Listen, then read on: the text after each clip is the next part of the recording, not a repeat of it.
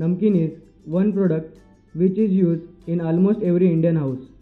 Whenever guests come at our house, Namkeen is consumed with tea, coffee and snacks. Namkeen is now mostly used in every parties and get-togethers. As per survey, food industries are growing rapidly. Variety of flavors and mixtures made for Namkeen. This also helps in growing market rapidly. Namkeen has seen a great growth from the past years. If you were also searching how to set up this business, therefore MIDI means Maharashtra Industries Development Institute is providing you a documentary on Namkeen making business. Plant and machinery, sev making machine, fryer machine, mixing machine, packaging machine. Raw material, besan, oil, spices, packaging material.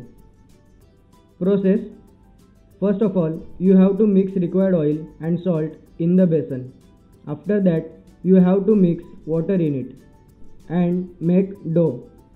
Then you have to put this dough in sev extruder machine.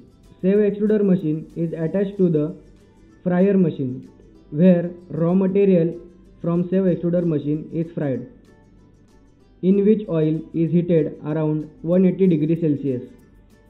After frying, you can collect the material in vessels and then it is kept for cooling.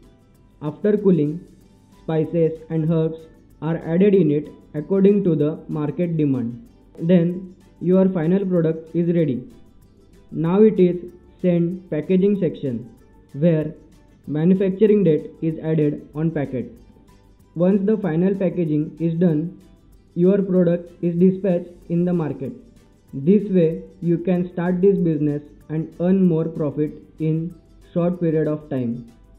If you want detailed information about this project like model project report, machines or any financial help, you contact on given both websites and numbers on screen. And if you want more business idea like this, you can subscribe our YouTube channel Midi Udyog Vishwa and click on the notification bell. If you like this video, kindly like, comment and share on this video.